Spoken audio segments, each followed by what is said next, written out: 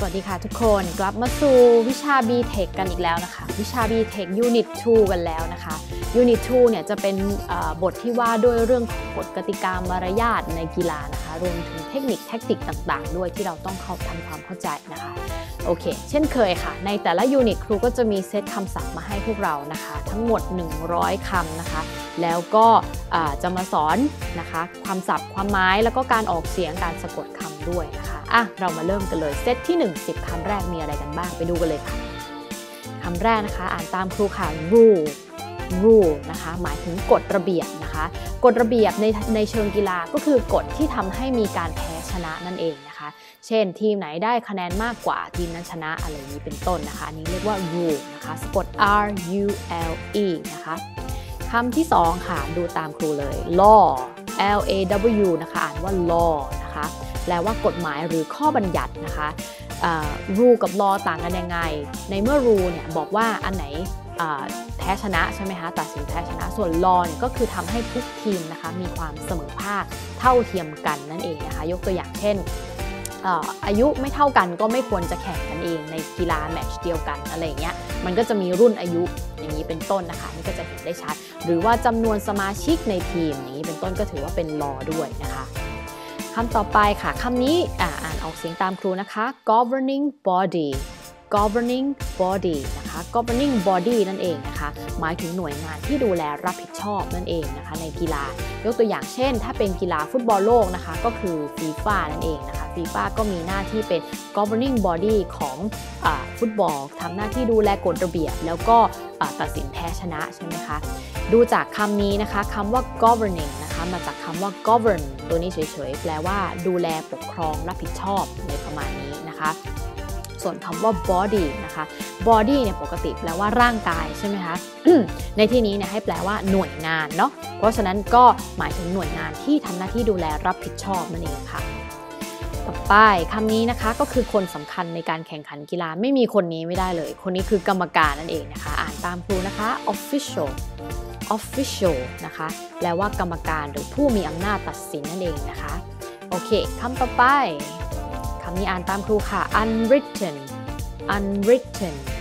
แปลว่า ซึ่งไม่ได้ถูกเขียนเอาไว้นะคะคำนี้นะคะมาจากคำว่า write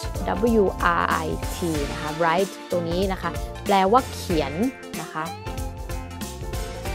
นะคะเป็น verb ช่องที่1เนาะขออภัยลายมือไม่สวยนะคะ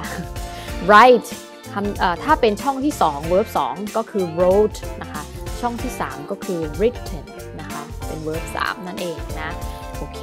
อ่าอันนี้ก็จะเป็น verb ช่องที่ 3 นะคะ มาจากคำว่าเขียน ส่วนคำว่า un ที่อยู่ข้างหน้าเนี่ยแปลว่าไม่นะคะ เพราะฉะนั้นก็จะแปลว่าไม่ได้เขียนหรือว่าไม่ได้ถูกเขียนนั่นเองนะคะ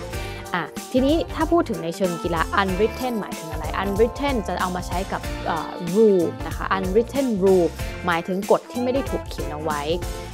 ในที่นี้ก็คือสิ่งที่นักกีฬาต้องทราบกันดีแล้วว่าควรจะต้องทำยังไง เป็นมารยาทอะไรอย่างนี้นะคะ ช่น ก่อนการแข่งขันต้องมีการเช็คแฮนด์กัน จับมือการไหว้กันอย่างเงี้ยให้ความเคารพซึ่งกันและกันประมาณนี้นะคะก็เขาไม่ได้เขียนบอกไว้ว่าต้องทำแต่ว่าก็ควรจะทำในฐานะที่เราก็เล่นกีฬาร่วมกันนะคะเป็นมารยาทนั่นเองคำต่อไปค่ะอ่านตามครูนะคะ respect respect นะคะแปลว่าเคารพนับถือนั่นเองนะคะ ออกเสียงนะคะให้ระวัง 2 ที่นะคะ ที่แรกที่ควรระวังก็คือตัว อันนี้นะคะ ตัว s ตัวนี้ออก rest นะคะ rest อย่างนี้ แล้วสุดท้ายคำว่า pect นะคะ อ่านว่า pect แล้วก็ t เบาๆด้วย respect อย่างนี้นะคะ แปลว่าเคารพนับถือนั่นเอง ในเชิงกีฬาเนี่ยเราต้องเคารพใครบ้างเอ่ย เคารพโค้ช เคารพเพื่อนร่วมทีม เคารพทีมฝ่ายตรงกันข้ามใช่ไหมคะ เคารพกรรมการ เคารพคนดู รวมถึงที่สำคัญเลยต้องเคารพตัวเราเองด้วยเองนะคะ อันนี้ก็คือ respect นั่นเอง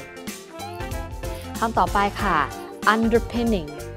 underpinning นะคะโอเค มันมาจากคำสองคำประสานกันนะคำแรกคือคำว่า under นะคะ under แปลว่าใต้ล่างนี้เป็นต้นนะคะ ใต้หรือล่าง เป็นตำแหน่งนะไม่ใช่ภาคใต้นะ อันนี้หมายถึงอยู่ข้างใต้อยู่ข้างล่างอย่างนี้นะ ส่วนต่อไป pinning มาจากคำว่า pin นะคะ pin แปลว่าเข็ม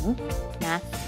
ในที่นี้เนี่ยก็คือเหมือนอการปักหมุดนั่นเองนะคะ ปักหมุดลงไป ดังนั้นเมื่อเอามารวมร่างกันแล้ว มันก็เลยกลายเป็นโครงสร้างหรือรากฐานนั่นเองนะคะอ่านว่า underpinning เนาะ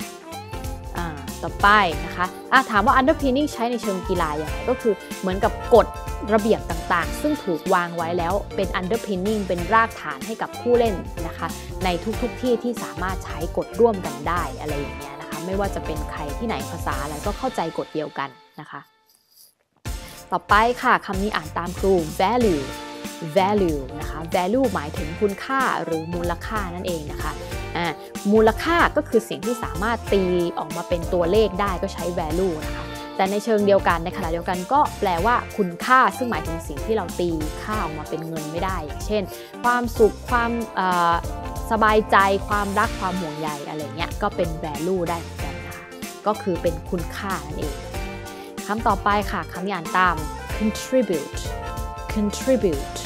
นะคะ contribute หรือภาษาไทยอ่านออกเสียงเป็นสำเนียงไทยก็ contribute ก็ได้นะ แปลว่ามีส่วนทำให้นะคะ มีส่วนสร้างให้อะไรอย่างนี้นะคะ contribute นั่นเองนะ สุดท้ายค่ะ fair play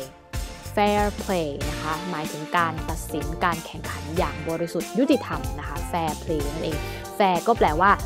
ยุติธรรมนะคะ play ก็คือการเล่นนั่นเองโอเค ครบ 10 คำแล้ว เช่นเคย ออกเสียงตามครูนะคะ เริ่มจากคำแรกค่ะ rule rule law law governing body governing body official official unwritten unwritten respect respect underpinning underpinning value value contribute contribute fair play fair play โอเคค่ะ ครบ 10 คำแล้วนะคะ เจอกันใหม่คลิปหน้าจะได้คำที่ 11 ถึง 20 ต่อไปนะคะ อย่าลืมติดตามดูนะ สวัสดีค่ะ